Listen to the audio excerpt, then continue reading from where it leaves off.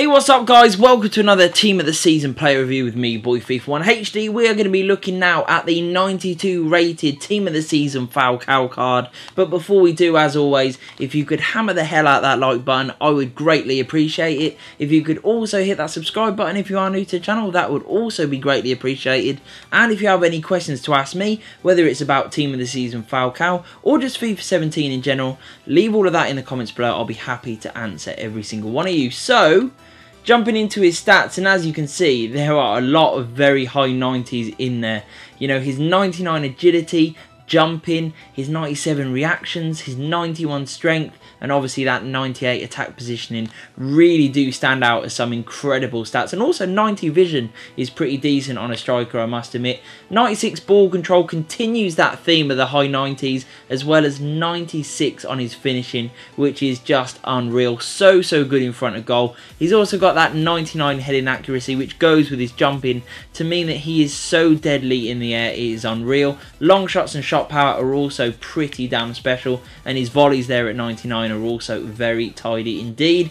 We move on, we see high medium work rates which are always good, 4 star weak foot which I absolutely love on any striker, 3 star skill moves which you know is neither here nor there to be quite honest, and then an absolute ton of specialities and traits including aerial threat, dribbler, distance shooter, free kick specialist, acrobat, strength, clinical finisher, complete forward, and then the traits of finesse shot, power header and target forward. So let's get into the main block of the review.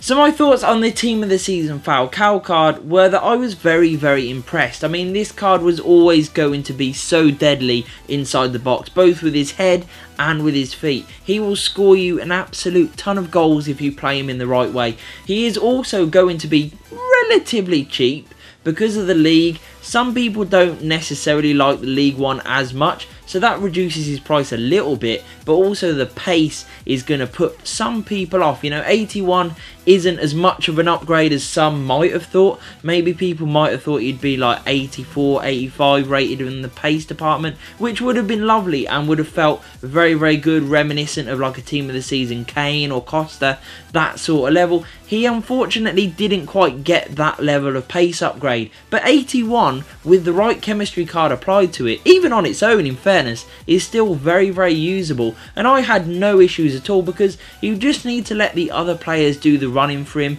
and then just let him find the space, let him make the runs a bit closer to the box and he is going to make great runs where you can thread the ball through the eye of a needle and he is going to be there ready and waiting to tuck that ball in the back of the net because that is what he does so so well. He is an absolute goal merchant. He is going to score you a ton of goals which is exactly why you would pay all this money for a team of the season card.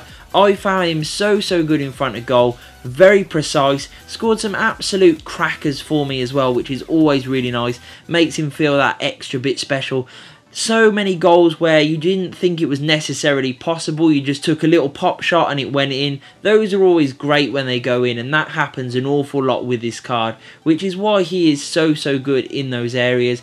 Very good in the air, of course, so if you are swinging any corners in, crosses, or playing the goal kicks, up to this guy. He is going to win flick-ons and he is going to score a lot of headers. So in that department, very, very good also. And what's great and also helps with the lack of pace is how good his dribbling is. His close control, his ball control is so, so good that if he does get the ball or if he is running with the ball in tight areas where there's a lot of defenders around him or closing in on him, he is able to free up that yard of space play it off with his decent passing or just keep the ball himself and just jink in and out free up enough yardage of space so that he can have a long shot because his long shots and shot power are very very good. And anything from sort of 25 30 yards he can definitely score quite frequently because he is very very good when it comes to finishing both inside and outside the box which is always very handy on a player who maybe isn't as quick as a lot of us would like but overall, just a solid, solid striker